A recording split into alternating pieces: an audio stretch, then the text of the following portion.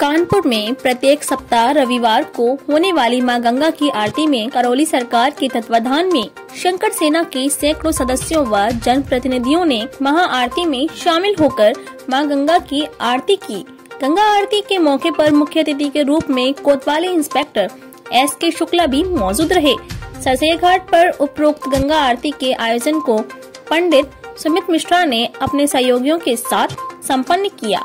गंगा आरती के उपरांत आरती में शामिल सभी भक्तों को पंडित सुमित मिश्रा व शंकर सेना के सदस्यों ने आम जनमानस को प्रसाद वितरण भी किया। उपरोक्त करौली सरकार के तत्वाधान में आयोजित प्रत्येक रविवार को होने वाली माँ गंगा की आरती में शंकर सेना के प्रदेश अध्यक्ष सुबोध चोपड़ा, प्रदेश महिला अध्यक्ष पीना द्विवेदी, ज्योति मिश्रा, नंदिनी, प्रीति शुक्ला, ममता मिश्रा, शंकर सेना के कानपुर जिला अध्यक्ष विनय वर्मा, नगर अध्यक्ष विशाल वाजपेयी, आलोक के साथ सैकड़ों लोग मौजूद रहे।